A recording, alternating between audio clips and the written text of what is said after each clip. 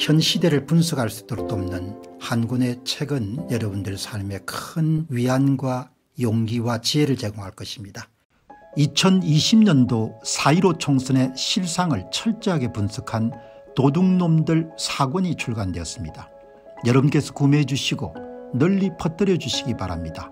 선거를 바로 세우고 나라를 바로 세우는 정의로운 길에 여러분께서 적극 힘을 더해 주시기 바랍니다. 감사합니다. 이제 계획대로 그렇게 돌아가지 않는 거 아닙니까? 특히 이제 연세대 의대 같은 데서는 우리 사람 안 뽑을 테니까 새 제자 받아들일 여러분들 뜻 없으니까 예, 지원하시는 분들도 잘 책에서 지원하시기 바랍니다. 예, 보건복지부가 어마어마하게 여러분들 화가 난 거죠. 법적 대응을 하겠다.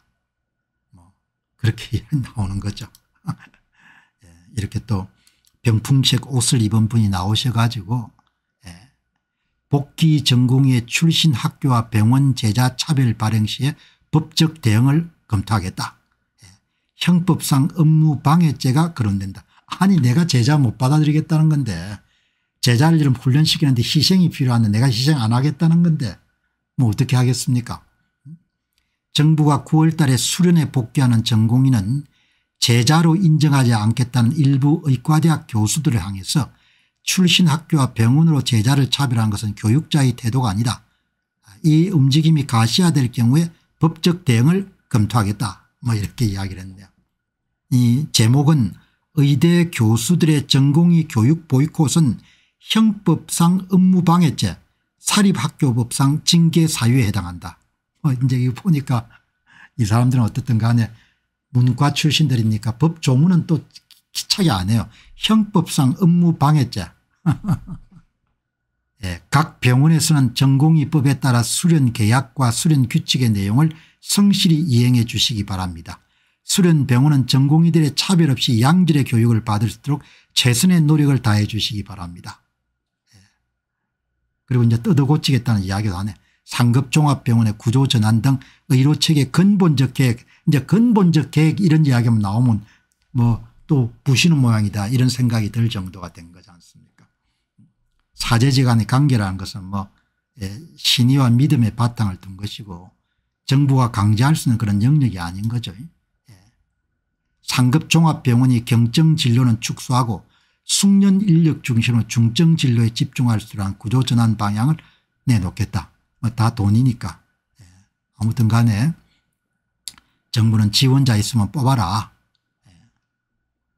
그렇게 요구하는 거고 뽑는 사람들 입장에서는 quality가 만족해야 되니까 예. 수련 보이콧 하는 교수들은 징계 검토하겠다.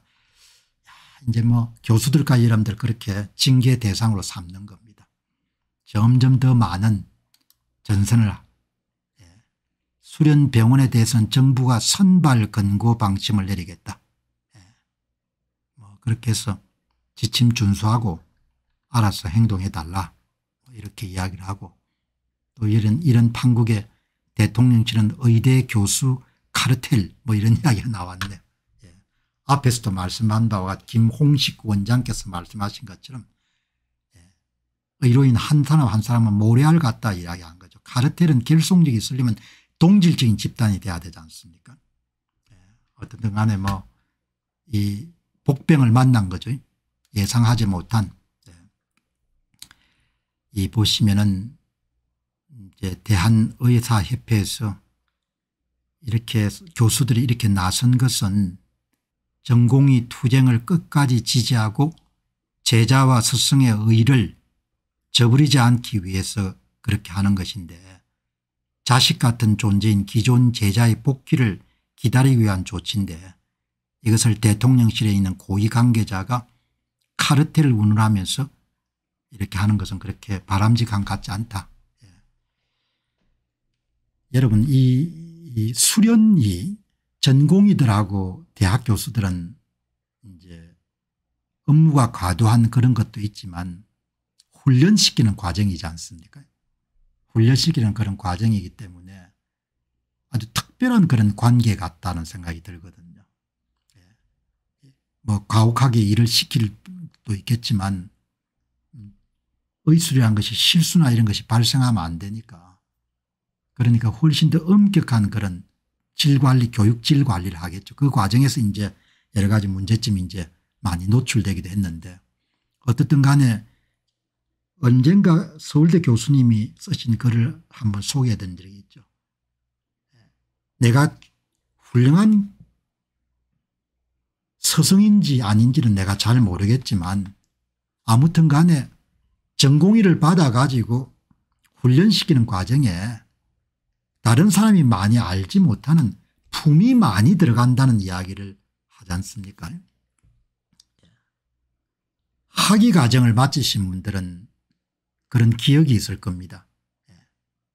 박사과정 학생을 받아들여 가지고 대학 교수가 훈련을 시켜서 학위를 마치고 나가서 직장을 잡도록 만드는 과정에서는 허들의 일도 하고 여러 가지 일을 하겠지만 교수 입장에서도 많은 시간을 투입해야 되는 거죠.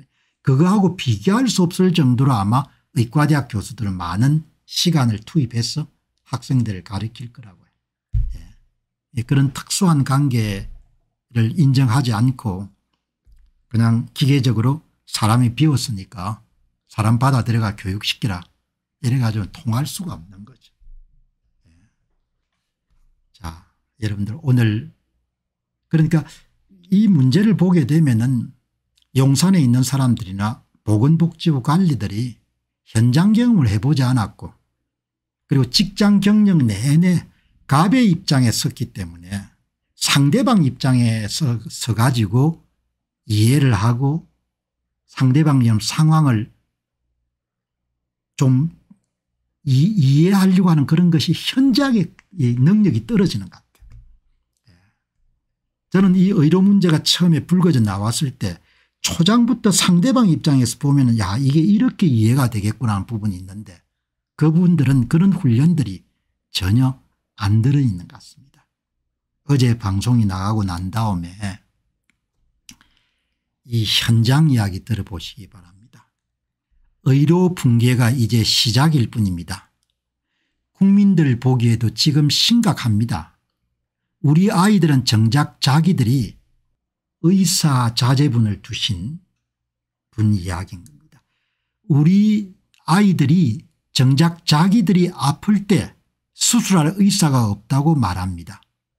전공의 선생님들 필수의로 다 포기합니다. 의과대학 교육부 청문회에 관한 청원을 많이 참여해 주시기 바랍니다. 아직 5천 명이 부족합니다. 이렇게 청원 네, 국회 청원 의사분들이 이런 가장 자주 말씀하는 것 중에 하나가 자기들이 정작 이런 평생 동안 환자를 봤는데 자기들이 환자가 됐을 때 자기를 치료해 줄 수 있는 필수 여러분들 의사분들이 없어진다는 것은 가장 두려워한다는 이야기인 거죠. 그거는 우리 한 우리 이야기인 거죠. 한 분께서 80대 분이 80대를 살아가면서 이번 의대 정원 문제로 전공의들과 의대생들의 수업 거부를 보고 너무 놀라워서 이런 일은 무언가 예사롭지 않은 생각을 하게 되었습니다. 유튜브에서 댓글을 보고 놀랬습니다. 의사들에게 악마 같은 이상한 존재로 악성 댓글에 또 놀랬습니다. 국민들의 80%가 이번 의료계의 절대적인 찬성으로 또 응원한다고 하니 또 놀랬습니다. 초기에 이런 반응이 나왔죠. 특히 놀란 것은 서울의대 김모 교수가 의사들의 연봉이 3 4억이 된다는 말을 방송에 한 소리에 또 놀랐습니다. 제가 알고 있는 지인 교수는 연봉이 8천만 원도 안 됨을 알고 연봉이 3 4억 된다고 일한 김모 교수란 자가 누구인지 궁금했는데 지금은 국회의원이 되었다고 합니다. 참 국회의원이 되는 것도 쉽기도 하구나 하는 생각이 들었습니다. 제가 80대를 살아가는 많은 악성 댓글을 보고 지인들에게 전공의들이 돌아오지 않을 것 같다고 말을 했습니다. 많은 국민들이 자신들을 악마 취급을 하는데 의사로서 자부심과 헌신의 꿈이 산산이 깨어지는 좌절감에 힘들게 지내겠구나 하는 생각이 들었습니다. 연세가 들면 은 연세를 잘 먹게 되면 은 이렇게 상대방 입장에 생각하는 능력이 커지죠. 예. 물론 더 옹졸해지는 사람도 많습니다. 나이가 들어가면서. 우리나라와 외국의 의료 체계와 여러 방향의 자료의 도움과 공 박사의 말씀에 공감과 응원을 합니다. 외로운 방송 채널이 아닌가 하는 생각이 들었고 복지부 공직자들이 필히 듣고 참조했으면 좋겠다는 생각이 듭니다.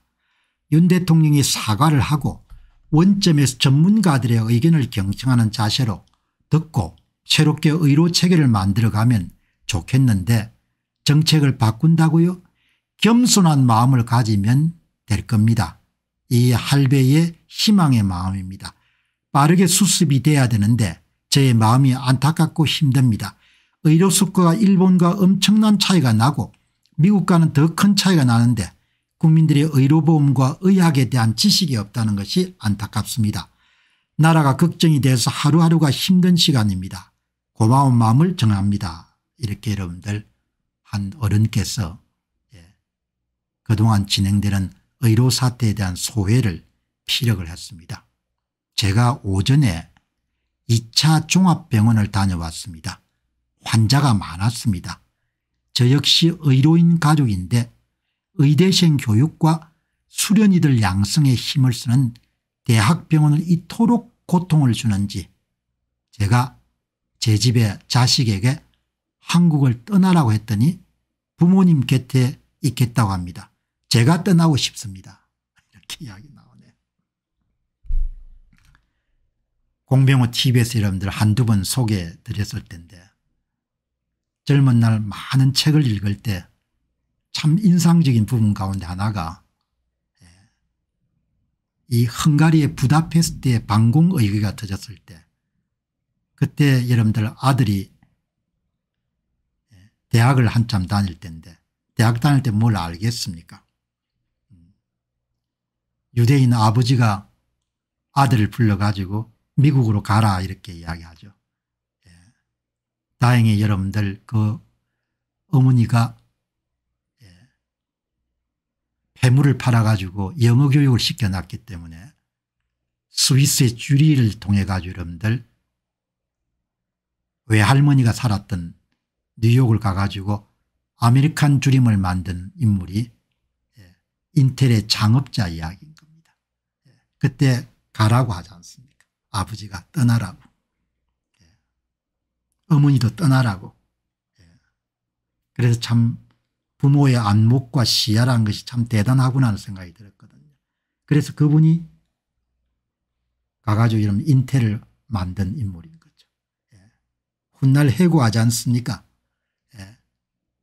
헝가리 여러분들 공산당 정부가 등장해 가지고 아버지가 제조업을 했는데 재산을 다 빼앗겼는데 그 궁핍한 생활 속에서도 어머니가 폐물을 팔아서 자기에게 영어를 가르쳤기 때문에 예, 스위스의 이름 쭈리에 도착해 가지고 영어를 할 수 있기 때문에 영어 보조를 하면서 대사관에서 결국 미국행 티켓을 얻고 아메리칸 드림을 이루게 돼서 너무나 돌아가신 부모님께 감사한 마음을 갖고 있다. 이렇게 이야기하는 것을 제가 오랫동안 기억하거든요. 여러분 또 하나는 예, 또 한두 번 말씀드렸을 겁니다. 예. 빅터 프랭클이라는 여러분들 정신과 의사가 있지 않습니까 아마 그분들이 오스트리아 비엔나에 살았을 겁니다. 나치의 지금 영향력이 계속 커지니까 의사니까 미국형 비자를 신청해 받지 않습니까 갓 결혼했을 때니까. 근데 나이 같은 부모님이 계시니까 포기하지 않습니까 그야 나중에 부모님들은 아우슈비츠에서 죽고 그분들도 예, 부인하고 젊은 부인하고 수감됐지만 부인은 아우슈베에 죽고 빅터 프랭클만 살아남아서 나중에 나오지 않습니까 예. 오래전에 읽었는데 내가 그때 부모라면 어떻게 했겠냐 예, 그런 생각을 예, 해봤죠. 저는 함께 떠나라고 이야기했을 것 같아요. 나는 살 만큼 살았으니까. 그 역사적 전환기에 그렇게 부모들이 내리는 결정이라는 것이 어마어마하게 여러분들 다른 거죠. 안녕하십니까 공병호입니다. 그동안 공병호 tv는 선거 공정성 회복과 자유민주주의 체제의 보존과 발전을 위해 노력해왔습니다. 이런 노력들이 지속될 수 있도록 공병호 tv의 전기 후원 프로그램이자 멤버십 프로그램을 소개해드립니다. 뜻 있는 분들의 관심과 동참을 부탁드립니다. 선거 공정성 회복을 위한 노력을 지지하시고 훌륭한 나라 만들기에 동참하시는 시청자분들이시라면 구독 버튼 바로 옆에 있는 가입 버튼을 통해서 정기 후원 프로그램에 가입할 수 있습니다. 가입 버튼을 누르시면 공병호TV의 후원자가 되시게 됩니다. 여러분의 후원이 선거 공정성 회복을 위한 노력에 힘을 더할 수 있을 뿐만 아니라 자유민주주의 체제의 수호를 그리고 발전을 통해 여러분과 후손들의 삶에 빛과 소금이 될 것입니다. 특히 그동안 공병호TV는 선거 공정성 회복을 위한 노력 과정에서 채널 성장에 제약이 가해지는 불이익을 감수해왔고 지금도 그런 불이익이 계속되고 있습니다. 그럼에도 불구하고 너무나 중대한 문제이기 때문에 공병호TV의 노력은 계속될 것입니다. 여러분의 깊은 관심을 부탁드립니다. 감사합니다.